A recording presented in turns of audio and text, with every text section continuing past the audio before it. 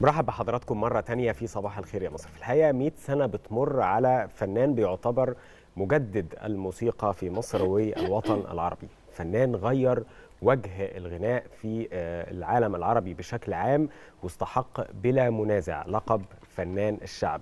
رغم سنين عمره القليلة لأنه توفى يعني أقل من 32 عام إلا أنه ترك إنتاج فني كبير جدا ما بين أغاني ما بين موشحات ومسرحيات وأعمال وطنية ظلت خالدة ولا تزال يعني تتغنى بها حتى الآن أجيال وأجيال وهو الفنان سيد درويش. كلامنا عنه الحقيقة مش هيكفي. النهاردة زي ما قلنا لحضراتكم هنرجع حضراتكم للزمن الجميل وقفوا آلة الزمن.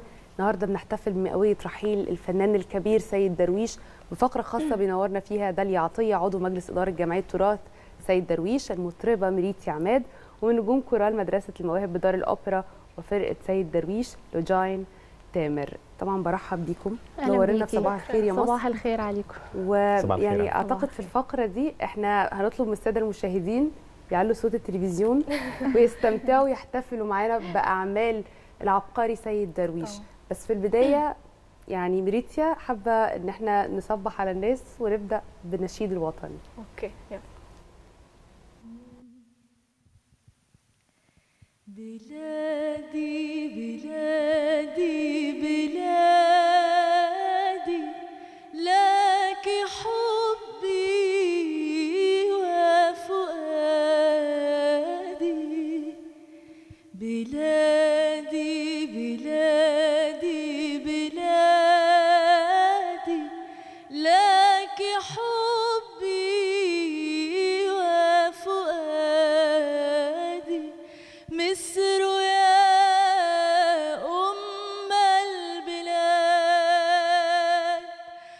أنت غايتي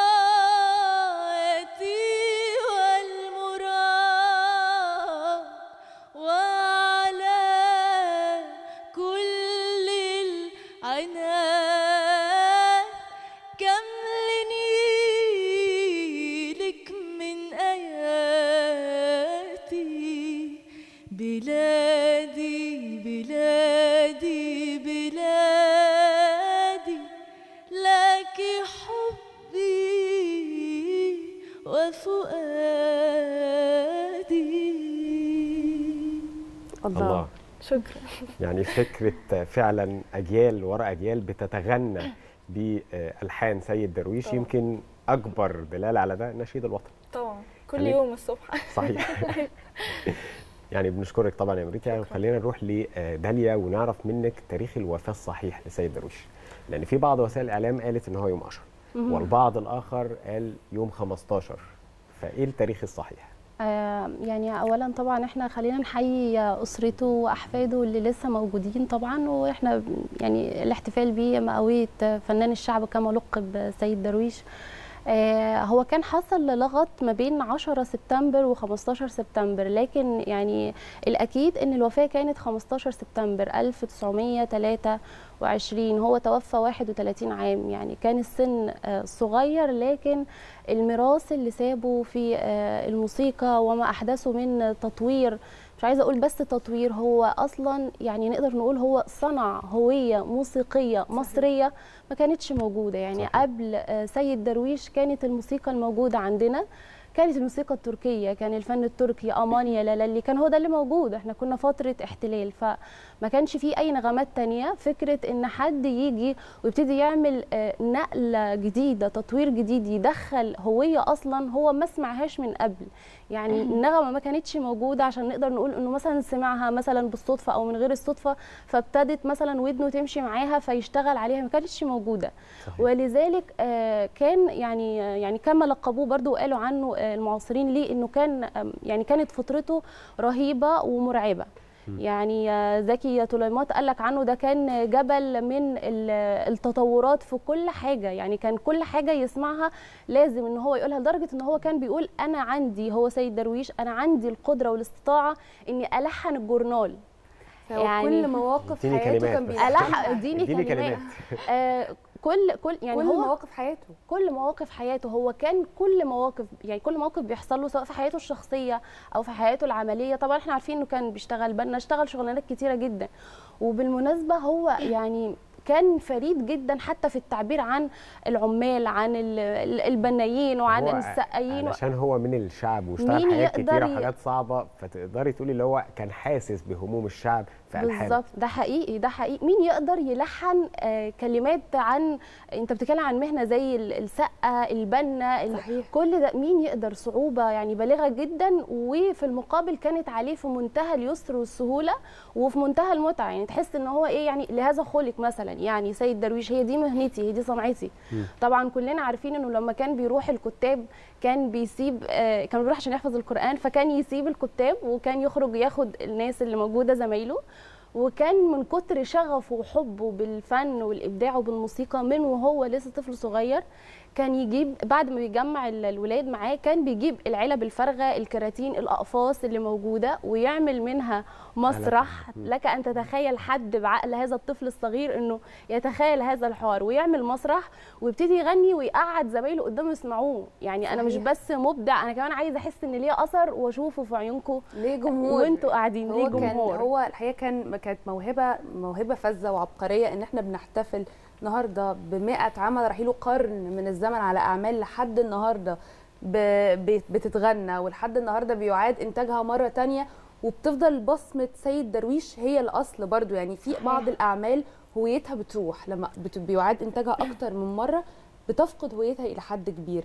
سيد درويش تبقى بصمته هي البصمة اللي بترجعي لها تاني. صحيح. وده يمكن من كلام حضرتك يمكن آه، فكرة إن بعض الأعمال بتروح أو بصمتها بتروح يمكن ده كان السبب لإنشاء الجمعية جمعية أصدقاء سيد درويش إن من بعد آه، وفاته لمدة تقريبا حوالي 24 سنة ابتدى بقى يعني بعد ال 24 سنة يظهر يظهر بقى إيه يعني تدخلات مثلا آه، نقل للتراث بتاع سيد درويش على يعني على أسماء أخرى إنه يحصل مثلا سطو عليه سواء محلي من بعض ال- الزملاء مثلا ليه أو آه، يعني مثلا أجنبي من فنانين آه، يعني أخر فجت من هنا فكرة إنشاء الجمعية ودور الجمعية بقى يعني من وقتها إلى الآن إن هو بيحاول إن هو بيحافظ على هذا التراث بيحاول إن هو يحييه من خلال حاجات كتير جدا. ان هو بيجمع طبعا الأعمال الخاصة بيه مش بس الموسيقية كمان ال- الكتابية الروائية آه، من خلال رعاية المواهب. يعني إحنا عندنا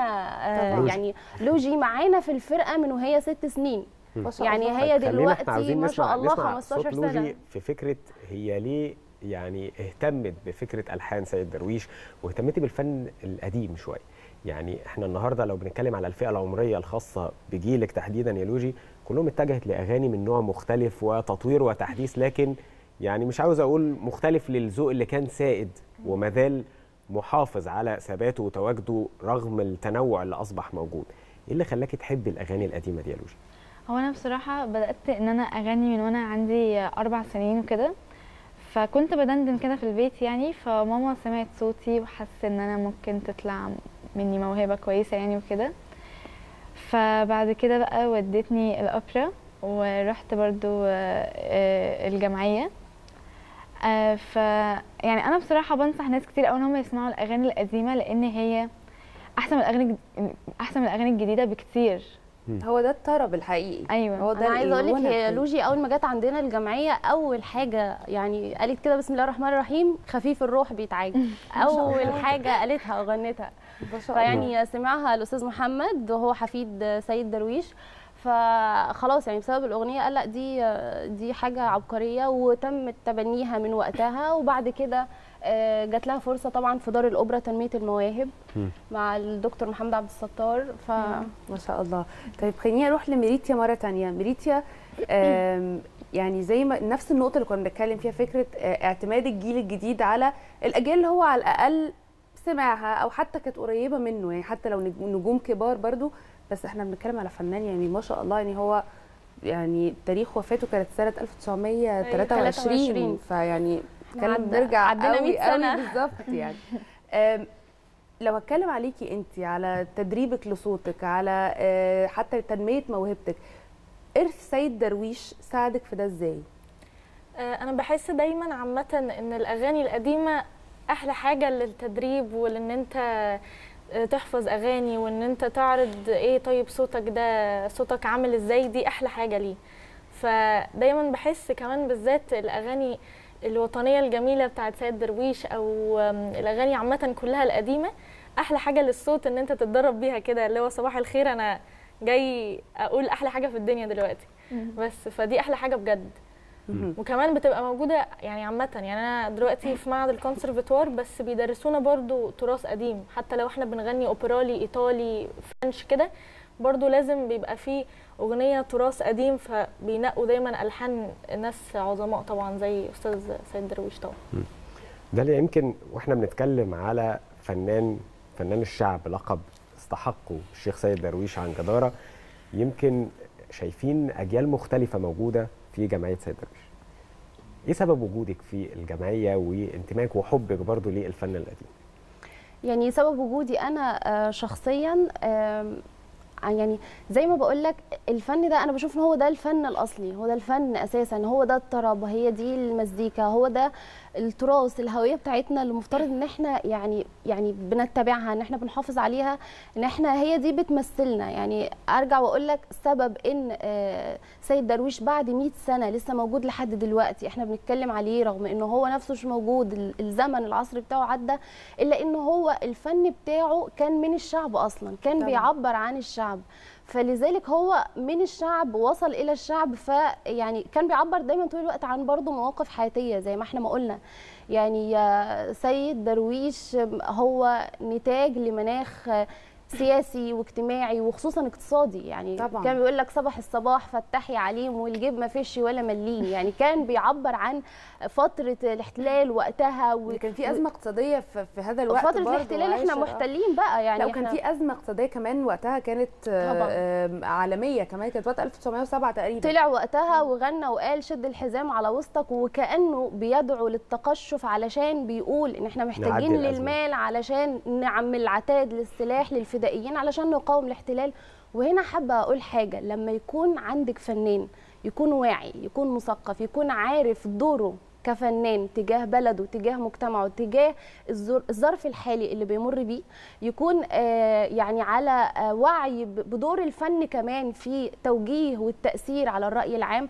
هو ده اللي إحنا بنقول عليه فعلا بشكل حقيقي هي دي القوة الناعمة اللي إحنا. بنتكلم على تأثيرها يقدر إن هو آه، يأثر ويحشد ويخلي الناس في وقت هم عندهم أزمة اقتصادية و- ومحتاجين مثلا آه، يعني لماديات إلا إنهم رغم كده مش متضايقين بيقول لهم شدوا الحزام مش متضايقين من دعوة التقشف لأن بقى عندهم هدف أسمى من صحيح. ذلك عشان كده هو يعني فرض نفسه مهما حاولنا نتكلم مهما حاول أي شخص يروج لأي نوع فن ايا كان الفن الجيد هو اللي بيفرض نفسه. صحيح. فهي دي يعني, يعني أعتقد ال- ال- الزمن والوقت والتجارب أثبتت ده. طيب أستاذة داليا وإحنا بنتكلم عن فنان بحجم سيد درويش آه، في سن يعني إحنا بنقول توفى قبل ما يكمل 31 سنة. 31 سنة سن صغير جدا. جدا. آه، في ناس في السن ده لسه ما كانتش حققت حاجة تقريبا. وعلى الرغم من ده آه، بدأ يعني 8 سنين. طبعا و و وكمان آه، شارك في مع يعني أكبر آه، النجوم المسرح وقتها و السيد درويش كان لما طبعاً. بيغني حاجة كان جمهوره اللي بيجي يحضر له كان العمالقة الكبار في وقتها لأنهم مم. كانوا. أصدقائه يعني فبدل ما ما هو اللي يستفيد منهم إنه هنتكلم على جورج أبيض علي الكسار نجيب الريحاني مش هو مش هو مش هو اللي كان بيستفيد منهم هم اللي كانوا بيستفيدوا هم اللي منهم. كانوا بيستفيدوا حقيقي. منه وهم وهو اللي أثر أكتر على عروضهم طيب خلينا نعرف أكتر عن ده ده حقيقي آه أنا عايزة أقول آه يعني ال ال ال الباحث يعني طبعا إحنا بنتكلم لو هنتكلم مثلا اللغة العربية معروفة إن هي 28 حرف. آه ال- الكاتب والشاعر لما بيكون باحث في اللغة العربية بيبقى دايما بيستطيع إنه يبحث عن الحرف التاسع والعشرين. صحيح. آه، سيد درويش لما يكون الموسيقي عبقري بيكون عنده القدرة والاستطاعة إنه يبحث دايما على الجملة الموسيقية الجديدة. يعني إحنا طبعا عارفين إن ال- الحروف النغمات الموسيقية هي 8 دو ري مي فا صول لا سي دو.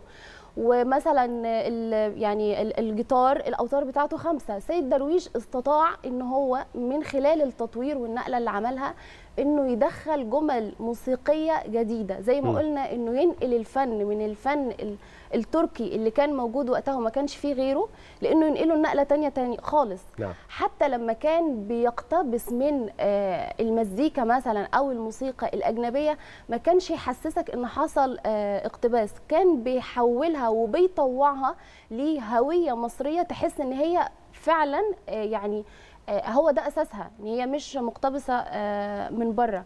فده كان السر بتاعه إنه عمل يعني حاجة جديدة جدا آه، كان الكل بيتهافت عليه إنه يكون آه، ليهم شغل إن معاه. اللحن الجيد كمان ده بيدي مرونة ومساحة أكبر للفنان في إظهار طبقة صوته.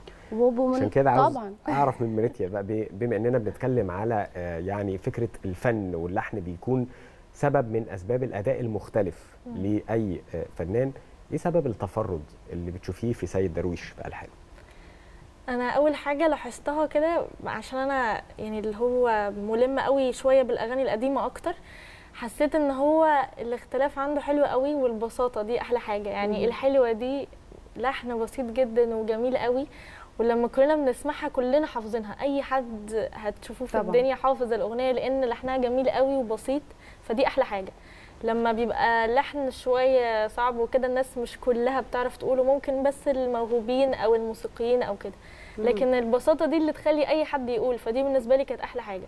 الحلوة دي أهو ده اللي صار آه خفيف الروح الحاجات دي كلها بحس أنت يعني تسمعها كده ترتاح مش إن أنت صحيح. تبقى متضايق إن أنت مش عارف تقول. معقد بالنسبة لك. أيوه دي أحلى حاجة. طبعا. آه، لوجاين آه، كمان إنت سنك صغير قوي.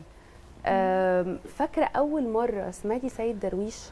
كان أو أول مرة كمان لما سمعتيه كان انطباعك؟ يعني حسيتي إنه إيه اللي أنا بسمعه ده؟ مش دي الأغاني المفروض أسمعها أو مش دي الأغاني اللي جيلي بيسمعها؟ ولا انت لقيتي نفسك ميالة أكتر للنوع ده من الموسيقى؟ هو بالعكس أنا كنت يعني أنا يعني أنا بحب الأغاني القديمة جدا.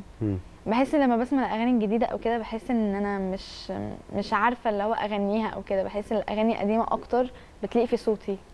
لأن يعني أغاني آه، آه، أستاذ سيد درويش الأغاني بتاعته اللي هو بيعبر عن حياته وبي يعني أنا لما باجي أغنيها وكده بحس إن إن الأغاني دي بتليق في صوتي جدا أكتر من الأغاني الجديدة.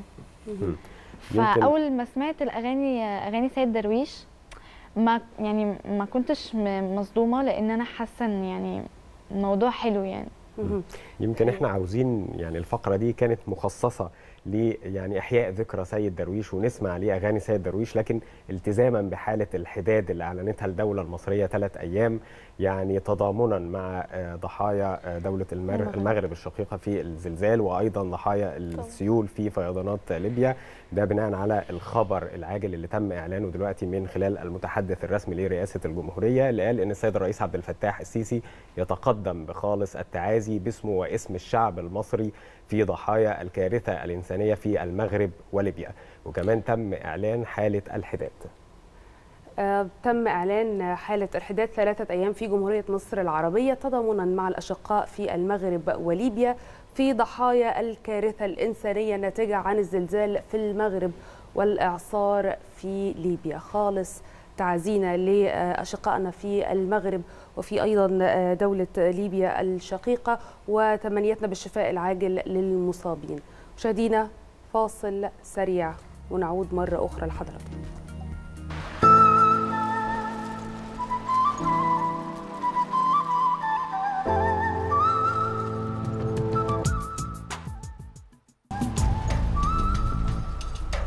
نرحب بحضراتكم مرة تانية وفي فقرة خاصة بينورنا فيها أستاذة داليا عطية عضو مجلس إدارة جمعية تراث سيد درويش والمطربة ميريتي عماد ومن نجوم كورال مدرسة المواهب بدار الأوبرا وفرقة سيد درويش لوجاين تامر لسه مكملين مع حضراتكم في آه، احتفالنا بمرور 100 عام على وفاة العبقري سيد درويش أستاذة داليا مرة أخرى هرجع لحضرتك.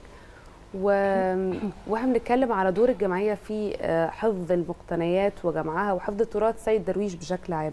آه، إزاي قدرتوا تقوموا بالدور ده؟ ده دور مش سهل ابدا يعني إنه سيد درويش إن كانت مقتنيات حتى ك آه، المقتنيات الشخصية أو حتى المقتنيات الموسيقية بتاعته يعني موضوع كبير مش بسيط.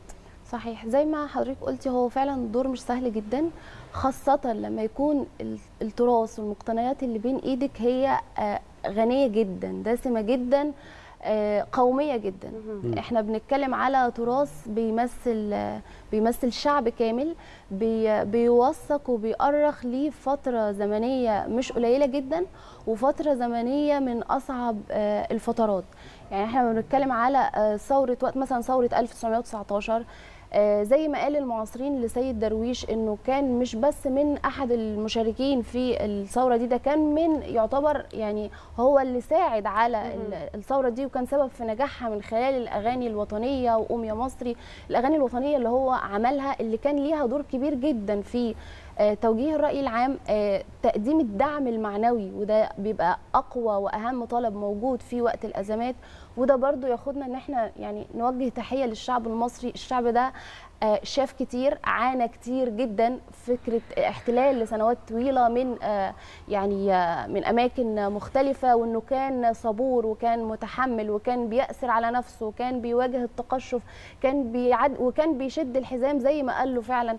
سيد درويش ولا زال ودي كلها آه، مشاكل وعقبات وتحديات بتحدث في كل عصر وفي كل زمان وبيكون دايما البطل متحدي ليها بشكل يعني رغم ظروفه الصعبة وهو الشعب المصري. طبعا هو البطل وبرضه الأول طبعا. آه آه، يعني برضو أخرج من هنا بمناسبة الأشقاء في المغرب طبعا إحنا بنوجه ليهم آه، العزاء والتضامن وفي نفس الوقت يعني حابة يعني أقول للشعب المصري إن إحنا ندعي إن ربنا يحفظ مصر لأن يا رب البلد دي لو آه، ربنا مش بيمن عليها ومحافظ على نعمة الأمان فيها لا مواهب زي كده هتعرف تخرج للنور ولا إحنا هنعرف نطلع للشغل ولا الحياة هتستمر. فالحمد لله على نعمة الأمن والأمان عندنا. إحنا بنتضامن مع الشعوب الأخرى وفي نفس الوقت بناخد رسالة عندنا في نفسنا نقول يا رب دمها نعمة على مصر وعلى أهل مصر مهما كان فينا ومهما كان جوانا. فإحنا نحمد ربنا إن في بيت مقفول علينا بشكل كويس صحيح. جدا. طبعا. فنرجع. تاني لسيد درويش مقتنياته غالية جدا ودسمة جدا. والمشكلة الحقيقة اللي بتقابلنا إحنا في الجمعية بنحاول ان إحنا نحافظ على ده بشكل كبير جدا ومحافظين عليه لكن هو كان بيته في اسكندرية اللي هو أصلا مسقط رأسه آه، البيت ده اتهد بعوامل عاوز أتكلم هنا وإحنا بنتكلم على اسكندرية تحديدا النشأة. النشأة لأن آه. نشأة سيد درويش كانت في اسكندرية. نشأته كانت هل النشأة دي أثرت في الفن اللي قدمه سيد درويش؟ طبعا من غير شك. اسكندرية طبعا عروس البحر إحنا يعني آه، اسكندرية دايما ملهمة يعني يعني ملهمة دايما للشعراء والموسيقيين والأدباء والفنانين والمبدعين بشكل عام يعني مين يروح عروس البحر ويرجع أصلا زي ما هو مم. فملهمة نفسيا ومعنويا كان ليها تأثير عليه كبير جدا وخرج من اسكندرية مبدعين كبير جدا كتير يعني كتار كتار. جدا في مم. مختلف آه، المجالات آه، بيته اللي هناك بعوامل التعرية اتهد لكن الحمد لله ما كانش فيه من المقتنيات يعتبر كتير لأنه زي ما قال له آه، يعني آه، سلامه حجازي انزل القاهرة يا سيد انت آه، يعني مستقبلك هناك. لما, لما نزل القاهرة بقى كان أبدع. شبرا. آه، كان في شبرا. صح كده؟ آه جزيرة بدران. هنروح بقى إحنا دلوقتي هنروح شبرا من منزل طبعا سيد درويش ولقاء مع السيدة سوزان مهدي زوجة حفيد سيد درويش. صباح الخير عليك. صباح الخير يا جمانة صباح الخير يا أحمد صباح الخير ضيفتكم الكريمة. إحنا النهاردة طبعا بنحتفي بمئوية آه، فنان الشعب الفنان الأسطورة الكبير آه، سيد درويش. النهاردة إحنا موجودين في بيته في المكان ده هو عاش عاش هنا في منطقة شبرا في آه، جزيرة بدران البيت ده. مكون من دورين ويمكن لسه موجود فيه الأساس ال- اللي هو كان عايش فيه سواء آه، السرير بتاعه أو الأنتريه اللي كان بيقعد فيه أو كل حاجة أو السلم اللي بيطلع عليه. يعني صوره هنا موجودة في كل مكان في البيت. خلينا نتعرف أكتر على تفاصيل عن البيت اللي عاش فيه آه، فنان الشعب سيد درويش من خلال ضيفتنا الأستاذة سوزان مهدي وهي زوجة حفيد فنان الشعب سيد درويش. يعني أستاذة سوزان صباح الخير. كلمينا وعرفينا أكتر عن البيت دوا اللي عاش فيه سيد درويش. آه، هو البداية في البيت ده جات من طبعا كان هو عايش في اسكندرية وبداية بداية موهبته وكده فسمعوا الش- الشيخ سلامة حجازي فبعدين نصحوا الشيخ سلامة حجازي لأنه وجد موهبته كبيرة جدا قال له أنت لازم يا شيخ سيد المستقبل الموسيقى في إيدك لازم تنزل مصر لأن فيها مسارح كبيرة وفيها فرق وكده لازم تنزل تتواجد في رود الفرج وعماد الدين وكده ففعلا سمع كلام الشيخ أستاذه الشيخ سلامة حجازي وجه هنا وطبعا هو ما جاش عاش هنا على طول في البيت ده. القصة إن هو كان بديع خيري ساكن جنبنا هنا في جنب البيت. فقال له آه، آه، كان بيتو يعني بيتراودوا مع بعض وكده. فهو اتجوز الحاجة جليله عبد الرحيم زوجته اللي هي موجودة معاكم في الصورة هنا. فهي كانت عايشة في البيت ده هي واخواتها وأسرتها وكده. فهو اتعاش هنا بقى واشترى البيت طبعا. وقعد وعمل بقى الروايات العظيمة كلها تعاون مع أولاد عكاشة ومنيرة المهدية وبيرام التونسي وبديع خيري ونجيب الريحاني وعلي الكسار. كان بيتعاون مع كل أولاد كله كله وجورج أبيض آه، في البيت ده وعمل الروايات كلها في البيت ده. كل الروايات ال- العظيمة اللي عملها سيد درويش كانت موجودة في المكان اللي حضراتكم موجودين فيه دلوقتي في جزيرة بدران.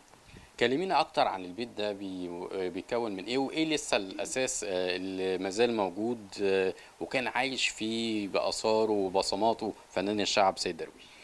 آه الله يرحمه. طبعا آه، هو عاش آه، قرابة مثلا 11 سنة هنا وعندك زي ما أنت شايف ورانا هناك في الخلفية في الجريمافون وفي الدولاب الاسطوانات بتاعته وفي هنا ال- ال- النوت الأصلية بخط إيده وفي 26 أوبريت آه، روايات كاملة محققة آه، لل- لل- لل- للدارسين ولمصر يعني.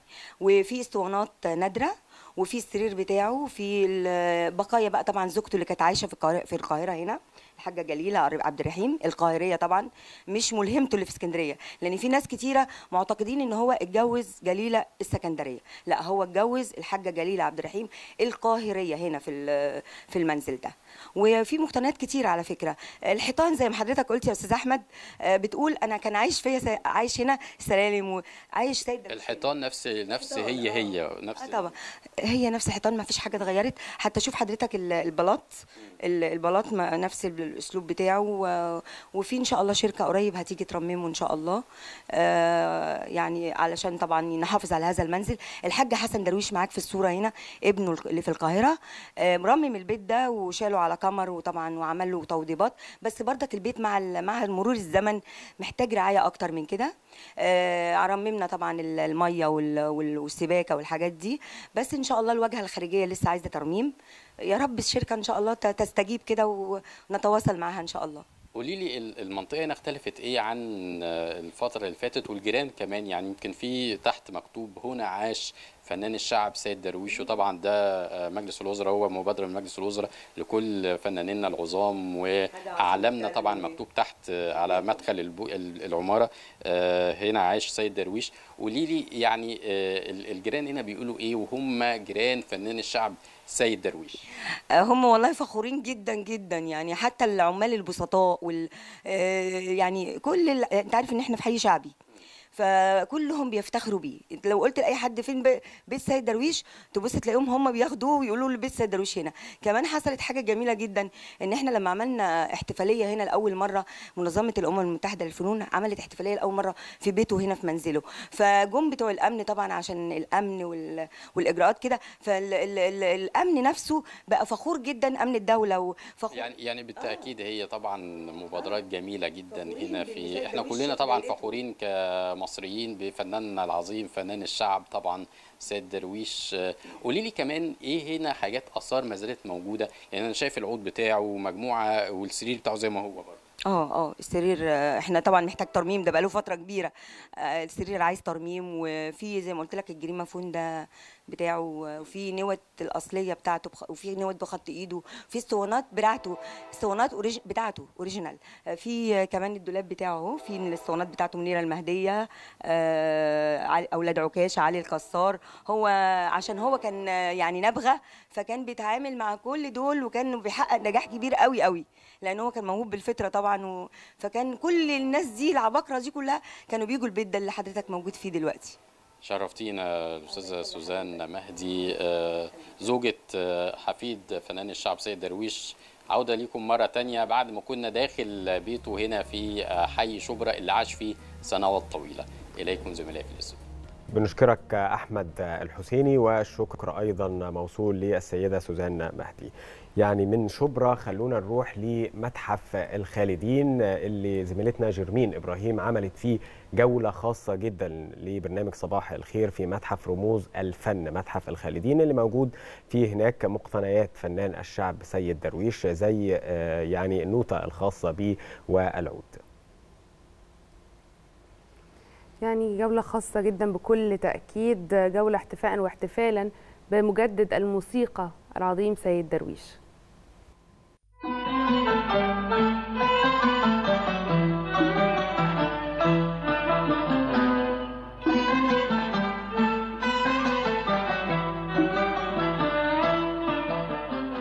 بالتزامن مع احتفالات مئوية فنان الشعب سيد درويش حبينا نحتفل بيه في المتحف اللي موجودين فيه دلوقتي واللي بيحتوي على مجموعة من المقتنيات اللي بتخص الفنان سيد درويش. جولتنا النهاردة من داخل متحف رموز ورواد الفن المصري والموجود في مقر المركز القومي للمسرح والموسيقى والفنون الشعبية.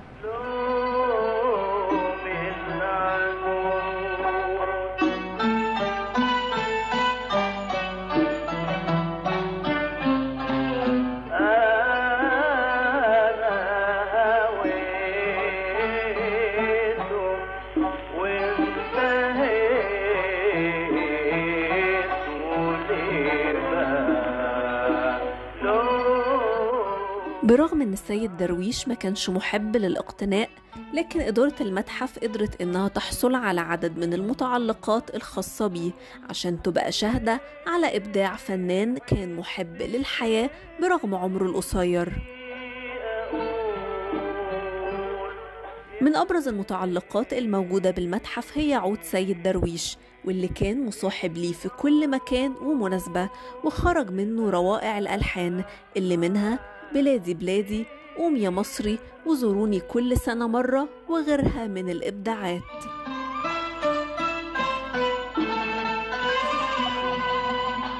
كمان موجود بالمتحف عصا سيد درويش المصنوعة من الأبانوس. ده غير طربوش وثلاث ميداليات باسمه ومجموعة من النوتات الموسيقية. كمان هتلاقي عقد زواجه من جليلة واللي بيرجع تاريخه لمايو 1919 واللي أنجب منها ولدين هم حسن ويحيى.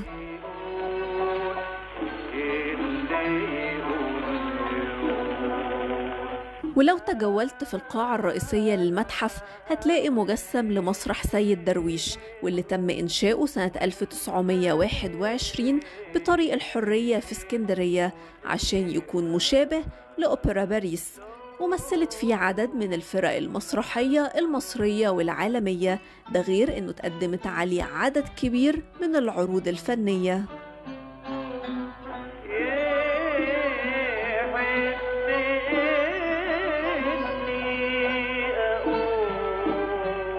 يعتبر المتحف بمقتنياته فرصة عشان نعرف الأجيال الجديدة بفنان الشعب واللي غير تاريخ الفن بأعماله اللي هتفضل عايشة لسنين قدام. جيرمين إبراهيم صباح الخير يا مصر.